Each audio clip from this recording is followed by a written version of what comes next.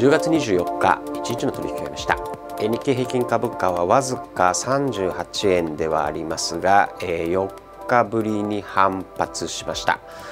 38円と43銭高3万8143円と29銭でした。トピックスは1.39ポイント安2635.57でした。まあ、日経平均株はネガサ株、半導体株がプラスだったということで日経平均プラスだったものの市場全体としてはトピックスはマイナスであります。プライム市場全体の銘柄で見てみましても全体の6割に近い980銘柄下落していますので、まあ、事実上マイナス続落だったという1日であります、まあ、日経平均だけがプラスという日でありましたグロース250指数は4.74ポイント安0.7%の下落でした、まあ、東京市場一言で言うと買えませんでした。日経平均のみプラス38円高でありました。えー、今日は安いところから、えー、初め値より終値の方が高く引けていましたので、えー、久々の陽線をつけました、えー、12日ぶりの陽線となりました、え、半導体関連株の一角にそれなりに資金が入った、まあ、強含んだということで日経平均はプラスでした、え、ただ市場全体で見るとトピックスはマイナスであります。衆院選で自公与党ですね。現在の与党の過半数割れということが指摘されていまして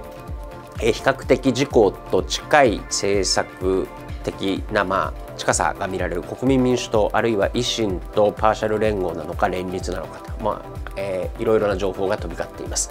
まあ、一旦政権の枠組みが変わるかもしれないということで、まあ、株にとってはマイナスなかなか買えない日が続いています。それでも日経平均かろうじて38円でありますがプラスだったというのは一旦半導体株が強含んだと、えー、今日は東京エレクトロン255円高1.1%の上昇でした。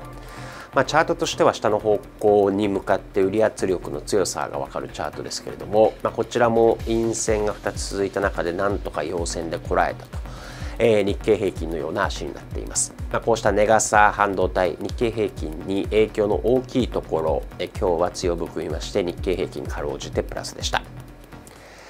えー、ただ市場全体で見てみますと、えー、こちらもなんとか、えー、防衛関連のところですね、え、下げ止まったという程度の上昇力です、え、三菱重工、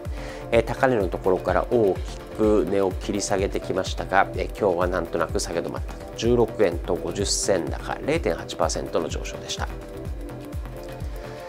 えー、今日の東京市場、えー、指数に寄与度の高いところの一角が買われまして日経平均株価は4日ぶり反発でした、えー、ただプライム市場全体では6割近い980銘柄が下落、まあ、引き続き、えー、日本の衆院選をめぐる衆院選後の政局不透明感への警戒感が続いているようです。